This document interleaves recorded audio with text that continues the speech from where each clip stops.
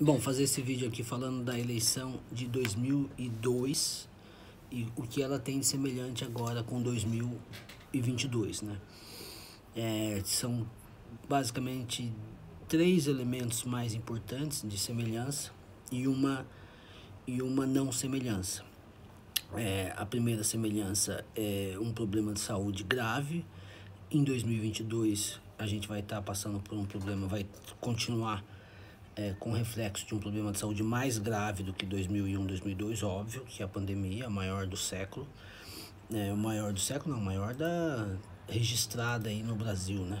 No Brasil moderno, no Brasil republicano.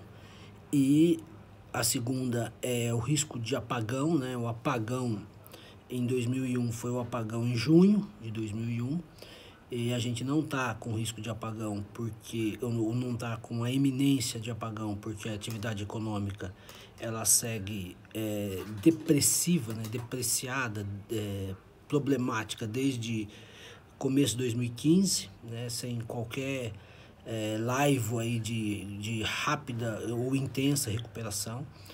É, e o terceiro, o terceiro elemento é a crise econômica. Né? A crise econômica é, que persistiu aí por quase que todo o segundo mandato do governo Fernando Henrique. Eu já falei no vídeo anterior é, das crises, né? das, das crises é, dos tigres asiáticos, crise turca, crise russa e crise argentina.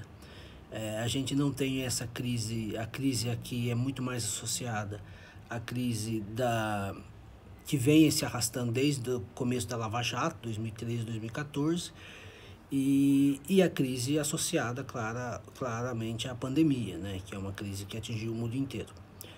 É, esses dois, esses três elementos, né, a questão sanitária, a questão é, da energia, né, da, da crise de energia e a questão da, da, da crise econômica. O que tem de diferente é que em 2002 Fernando Henrique não era candidato. Né? Fernando Henrique tivemos dois, três candidatos tentando ser o candidato herdeiro do Fernando Henrique, né, a Rosiana Sarney, depois o Tasso Gereissati acabou sendo o José Serra, que foi derrotado pelo Lula. A vantagem aí para uma eventual candidatura pelo novo, por um novo mandato do Bolsonaro é que os, as três experiências anteriores tentativa de reeleição deram certo. Né? Fernando Henrique, Lula e Dilma conseguiram se reeleger.